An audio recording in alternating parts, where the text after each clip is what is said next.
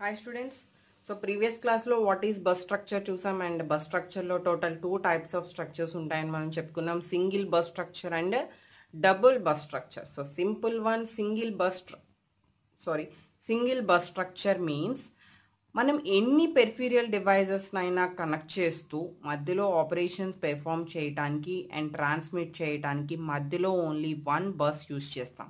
So single bus use చేస్తే దాన్ని మనం సింగిల్ బస్ స్ట్రక్చర్ అంటాం. ఒకవేళ ఓన్లీ వన్ బస్ కాకుండా one more more than one bus కనుక యూజ్ చేస్తే దాన్ని డబుల్ బస్ అంటాం. More than one means three four మనం ఎన్ని బస్సెస్ అయినా యూస్ చేయొచ్చు. So that is nothing but double bus. Double bus అంటే ఎక్కువగా మనం టూ బస్సెస్ యూస్ చేస్తూ ఉంటాం. అదర్వైజ్ ప్రీవియస్ క్లాస్లో మనం డిస్కస్ చేసినట్టు control data and address. Three buses use చేస్తాం. సో సింగిల్ బస్ మాత్రం only the one bus is connected with all the peripheral devices. So let me write the definition.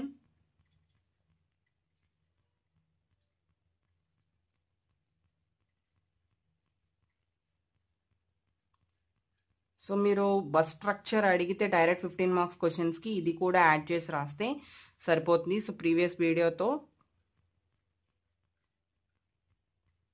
Communicate between peripherals it is peripheral devices and microprocessor so okay common బస్తో use చేయడం వల్ల మనకి అబ్వియస్గా ఏమవుతాయి అంటే some disadvantages అనేవి మనం face చేస్తూ ఉంటాము.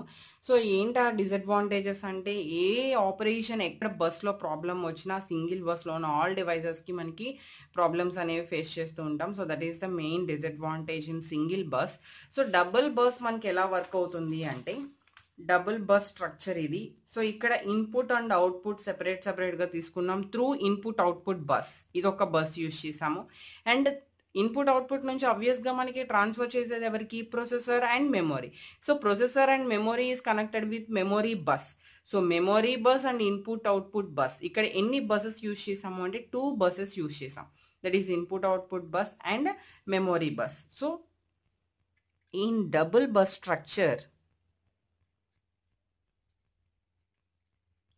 so in the structure one bus ఒక బస్ ఒక వర్క్ చేస్తే another bus another work allot చేస్తాం.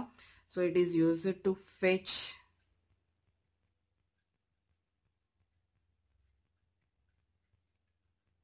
and another one వచ్చేసరికి other work so that is while other is used to fetch data and execution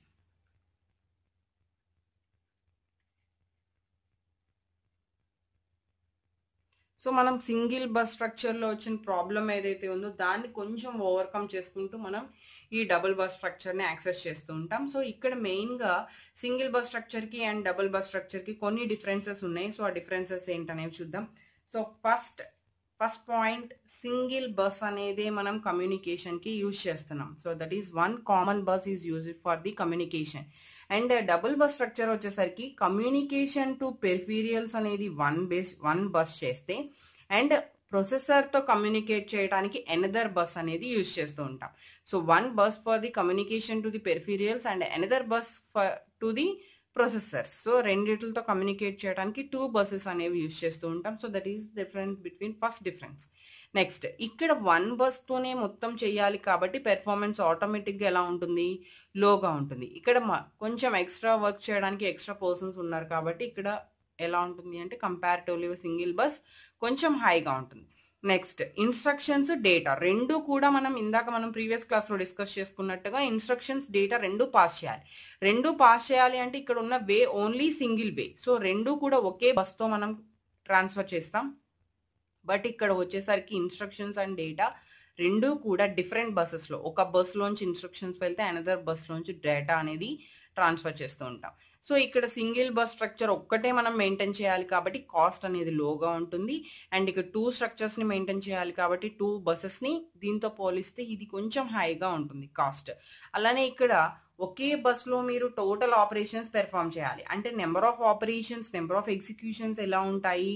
మోర్గా ఉంటాయి. But ఇక్కడ రెండు రెండిటితో execute చేయాలి కాబట్టి నెంబర్ ఆఫ్ ఎగ్జిక్యూషన్స్ అనేవి లెస్గా ఉంటాయి. సో మనం ఏదైనా ఒకటి కన్స్ట్రక్ట్ చేసేటప్పుడు నెంబర్ ఆఫ్ వర్కర్స్ ఎక్కువ అయినప్పుడు నెంబర్ ఆఫ్ డేస్ అనేది తక్కువైపోతుంది.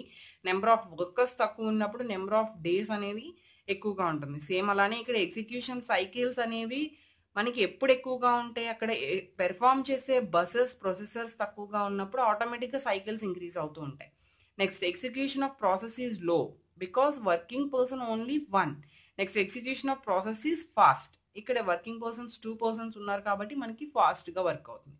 అలానే ఇక్కడ సింగిల్ ఆపరెంట్ మాత్రమే read చేయబడతాం. Because that is single bus structure single operand can be read at a time two operands can be read in double bus structure so మనం ఈజీగా గుర్తుపెట్టుకునే differences ఒకవేళ bus structure what is bus structure explain with all the details అని చెప్పి అడిగితే కనుక మనం bus structure అంటే ఏంటో రాసి అండ్ బస్ స్ట్రక్చర్ గురించి ఇందాక చెప్పుకున్నగా three bus structures address data and control ఆ త్రీ వాటి గురించి కూడా ఎక్స్ప్లెయిన్ చేసిన తర్వాత single bus structure and double bus structure గురించి కూడా రాస్తే మీకు ఫుల్ మార్క్స్ పట్టడానికి ఛాన్స్ ఉంటుంది. So this is complete about the SA question bus structure thank you